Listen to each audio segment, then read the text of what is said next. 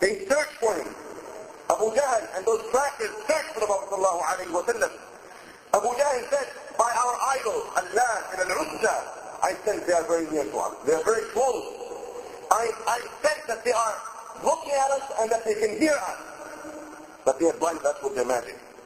Even though they couldn't find the Prophet sallam, Abu Jahl did not give up. He returned and he announced a great prize, 100 camels for the one who captured Rasulullah alayhi wa sallam. Wallahi, in this day and age, if someone was offered something like this, or even less than this, you would find them throwing aside their deen, subhanallah, for the dunya, subhanallah. Rasulullah alayhi wa sallam told us that towards the end of time, will be فتنا كقطع الليل المظلم يصبح الرجل مؤمنا ويمسي كافرا أو يصبح مؤمنا ويصبح كافرا يبيع دينه بعرض من الدنيا wa sallam said, indeed, there will be fitan as far reaching as the night. In it, a man will become a non-Muslim, and a non-Muslim will become a Muslim. People would sell their deen cheap for something in the dunya, subhanAllah. That is so true in this day and age. But the companions of Rasulullah sallallahu alayhi wa sallam understood that this dunya is nothing. This dunya is worthless. And that the reward of Allah in the hereafter is far greater. And it should be what every believer should seek, subhanAllah. Suraqa ibn Malik was a very skilled hunter and tracker said, while I was sitting in a gathering with my people, a person came in and said, we saw three people. We believed them to be the Prophet sallam, Abu Bakr and their, and their guide. Suraqa said, by Allah, it is not them. Because he wanted the prize for himself. So he discouraged everyone else and he said to them, it is not them. These are our people who are searching for the camel that they lost. So they left their quest and they sat together. Suraqa ibn Malik discreetly left, went to his home, prepared his animal, put on his armor, took his weapons with him, and he walked out and got to the Prophet sallallahu. After some time his horse stumbled, and was amazed. The horse regained its footing, and then rushed forward again, and stumbled again, and at that point he saw Rasulullah sallallahu alayhi wa sallam and Abu Bakr radiallahu anhu. They were in a distance, reachable by his arrow. So he stretched to pick up his bow to shoot Rasulullah sallallahu alayhi wa sallam, but he froze. When he saw that the feet of his horse were sinking in the sand,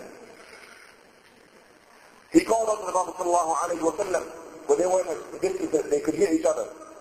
He said, make dua that my horse becomes free. And I will leave you alone. Prophet sallallahu alayhi wa sallam made dua and the horse went free. But Suraqa was still thinking of the hundred camels. So he rushed forth again to capture the Prophet sallallahu alayhi wa sallam, and this time the horse sank even more in the sand, and it could not uh, pull itself free. He called up to him, I will give you my provisions, the possessions that I have, my weapons, I make an oath by Allah, take them away from you. Sallallahu alayhi wa sallam said to him, we have no need for your provisions, your possessions, or your weapons, but it scares others from coming after us. Sallallahu alayhi wa sallam made dua, and his horse became free. The Prophet ﷺ then walked away. And they left. But Suraqa called out, let us talk for a time. I will not do any harm towards you. And he said to Rasulullah ﷺ, Wallahi, Wallahi, I know that Allah subhanahu wa ta'ala will give victory to your deen. So make a promise to me that when I come to you, when you are victorious, that you will honor me. So Rasulullah wrote something, or ordered Abu Bakr radiallahu to write something for Suraqa, which he took with him, and then he left. As he was leaving, Rasulullah ﷺ said to him, Oh Suraqa, how about it? You wear the jewels of Kisra, the Persian emperor. Suraqa in Jonathan says Kisra bin Hormuz. That's Kisra that we all know to be, to be the emperor of Persia. He said, yes, that's, that's Kisra. When he returned, Suraqa found the people preparing, preparing themselves to hunt for Rasulullah alayhi wa sallam and he said I searched the earth and could not find him. And you all know how skillful I am in tracking. So they all left aside their quest to look for Rasulullah alayhi wa sallam. So Rabbah kept the conversation between him and Rasulullah alayhi wa sallam a secret till they reached Medina. So he was sure that they had reached Medina. He then announced to people what had happened. Abu Jahl scolded him and said to him that you are a coward.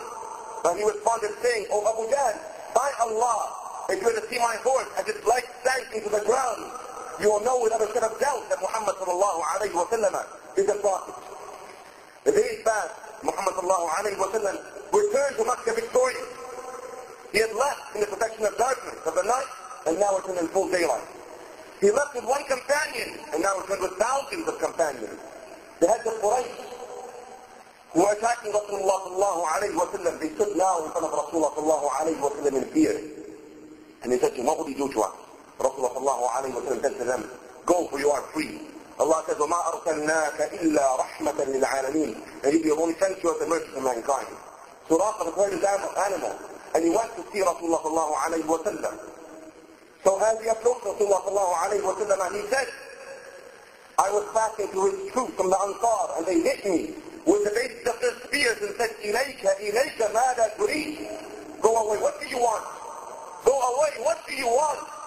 I walked on the left, sallallahu alayhi wa sallam, and I said, Ya Rasulullah, I am Suraqa ibn Malik. This is a note from you which you gave to me. Rasulullah sallallahu wa sallam said to him, come closer, Ya Suraqa. This is the day which I shall fulfill that promise. And he then announced his Islam became Muslim. Suraqa, after a few months, he witnessed the death of Rasulullah sallallahu alayhi wa. And he continuously thought in sorrow that one day that he even imagined or wanted to capture Rasulullah alayhi wa sallam for a hundred camels.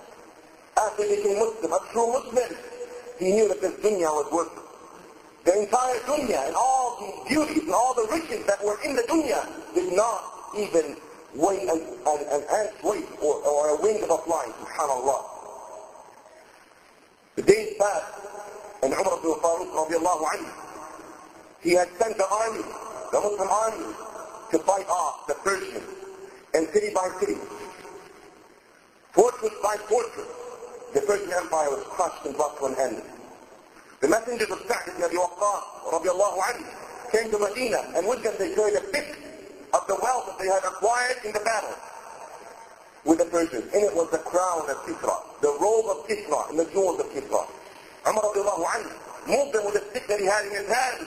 He exclaimed, indeed, those who brought this to us are indeed trustworthy. Ali ibn Abi Talib radiallahu anhu, that great companion said, O Amir al-Mu'mineen, O Umar, you yourself are modest and chaste, and those under you are the same. If you were not modest or chaste, those under you would not be modest or chaste. Umar radiallahu anhu then called Suraqa, and he placed on his head the crown of Kisra, and made him wear the robe of Kisra, and the jewels of Kisra, and at this the Muslim said, Allahu Akbar, Allahu Akbar, Allahu Akbar. So indeed here, the prophecy of Rasulullah alayhi wa sallam came to pass. Subhanallah.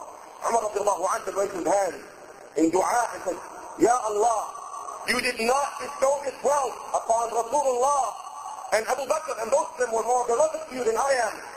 Oh Allah, let not this wealth be a fitna for me. Oh Allah, protect me from the fitna.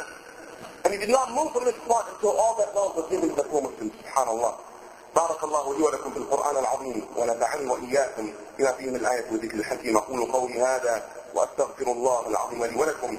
إنسان يكون في ذنب فاستغفروه إنه هو الغفور الرحيم.